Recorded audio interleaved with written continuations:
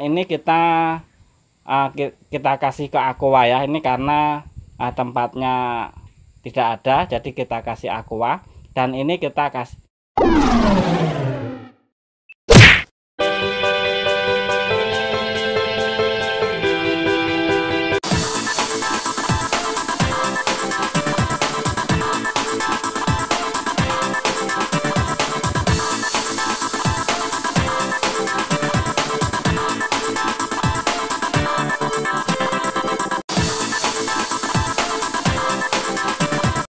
Assalamualaikum semuanya teman-teman. Di mana pun Anda berada Berjumpa lagi ya bersama kita. Tentunya masih di channelnya Dinar Dinar. Dan teman-teman semuanya Mudah-mudahan hari ini diberikan kesehatan Keselamatan Dan dimudahkan rezekinya. Amin ya. Teman-teman eh, pada kesempatan hari ini kita akan pembuktian ya pembuktian mungkin sekitar uh, tiga hari ya.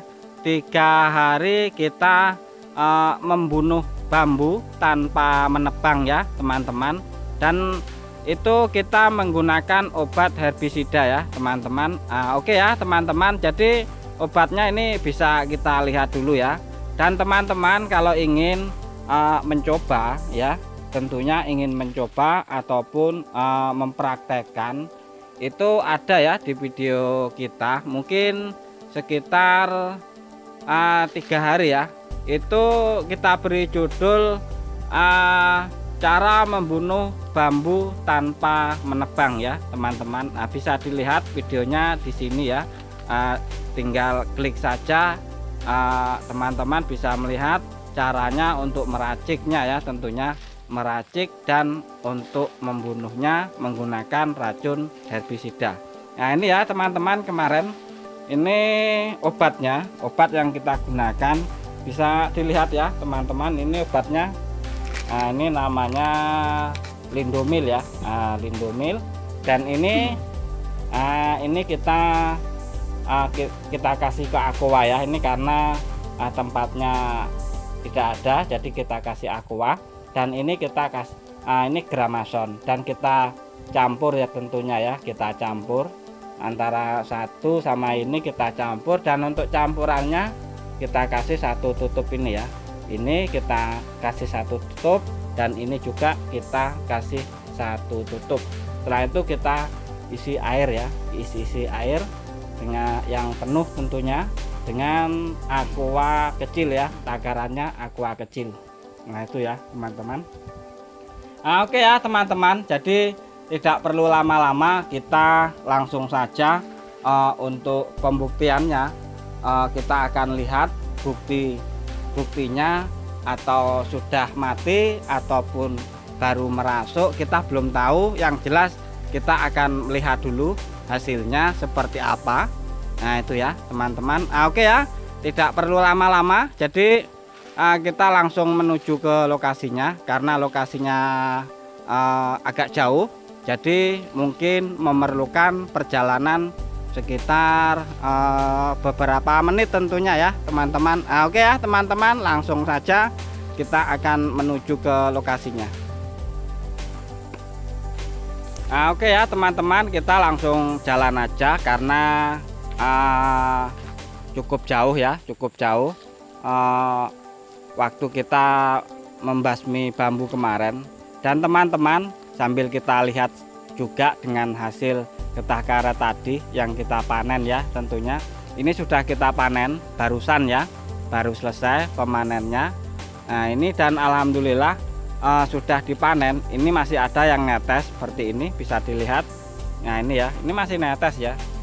Ini kalau tidak ada hujan mudah-mudahan bisa penuh ya teman-teman. Nah, oke okay ya kita langsung saja untuk uh, menuju ke lokasinya ya tentunya. Nah, oke lanjut. Kita jalan terus. Dan ini cuaca tidak bagus tentunya cuacanya karena musim hujan. Ini aja sudah mendung ya teman-teman.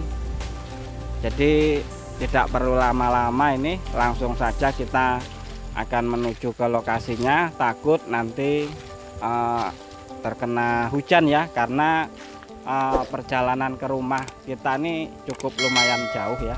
Nah oke okay, kita lanjut jalan terus. Nah ini udah mulai agak dekat ya teman-teman. Uh, udah mulai nyampe ya. Dan ini bisa kita lihat teman-teman ini hasil kita tadi pagi. Ini sudah dipanen juga ini masih netes ya. Nah, oke kita lanjut saja tidak perlu lama-lama. Karena uh, mau hujan juga ini ya teman-teman.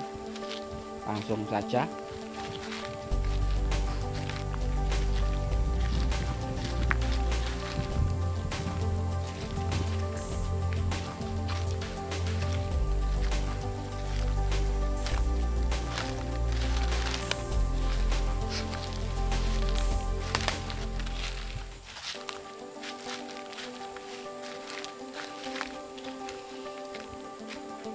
Wah ini miring ya.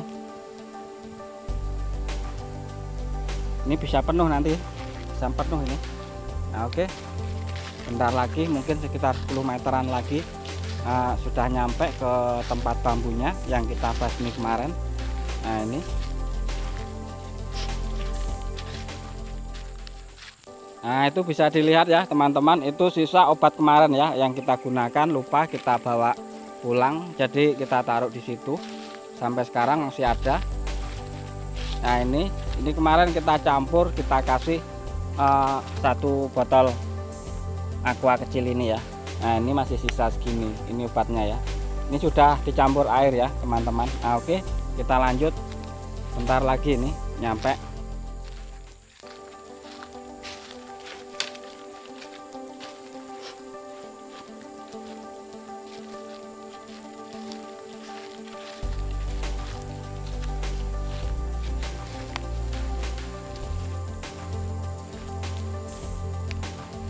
Nah, oke okay ya teman-teman bisa dilihat. Uh, mungkin teman-teman tahu bambunya ini bambunya. Nah, karena bambunya kecil ya teman-teman bisa dilihat bambunya kecil. Nah ini. Nah ini ya. Uh, kemarin kita uh, mencoba membasmi bambu yang ini. Karena bambu yang besar ini sudah mati semua sudah kita basmi. Cuman pembasmiannya kita kemarin menggunakan uh, minyak lampu ya minyak lampu ataupun minyak tanah. Nah bisa dilihat ya teman-teman dari daunnya seperti ini. Ini kemarin masih hijau masih segar ya masih segar seperti ini. Nah ini. Dan kita lihat di bawah ya uh, biar teman-teman tahu pembuktiannya atau mati ataupun belum mati. Jadi ini kemarin bisa dilihat masih hijau daun daunnya ini ini ya. Ini masih hijau kemarin ya dan ini sudah mulai kering ya mulai kering. Dan bisa dilihat juga dicek ini nah ini ya bisa kita dekatkan kamera. Nah ini. Nah ini sudah mulai hangus ataupun gosong nih. Nah, gosong nih ya. Bisa dilihat seperti ini gosong. Nah dan ini sudah nah, sampai akar sampai bawah sampai akar-akarnya ini ya teman-teman. Nah seperti ini. Nah jadi uh, bambu ini bisa kita perkirakan akan mati total sampai ke akar-akarnya. Karena baru tiga hari ya teman-teman. Tiga hari ataupun empat hari ini sudah seperti ini. Uh, setelah kita gunakan ini ya. Nah ini ya tentunya teman-teman. Kita gunakan ini. Nah bisa dilihat ya ini. Nah ini yang uh, tadi di awal mungkin sudah tahu teman-teman caranya Nah, kalau ingin tahu caranya, teman-teman bisa nyimak videonya uh, yang berjudul cara membunuh bambu tanpa menebang. Nah, itu ya, teman-teman. Dan seperti ini obatnya bisa dilihat. Dan alhamdulillah uh, daunnya ini sudah mulai ada yang kuning. Nah, ada yang kuning. Dan bisa dilihat juga, nah ini ya, kuning. Dan kalau yang di bawah ini sudah mati. Uh, daunnya sudah kuning sudah kering ya. Dan batangnya pun sudah mulai hangus ataupun gosong ini. Gosong terkena racun ya teman-teman. Nah. Oke ya teman-teman semuanya. Mungkin teman-teman sudah tahu uh, pembuktiannya membasmi bambu tanpa menebang. Nah oke kalau begitu Assalamualaikum warahmatullahi wabarakatuh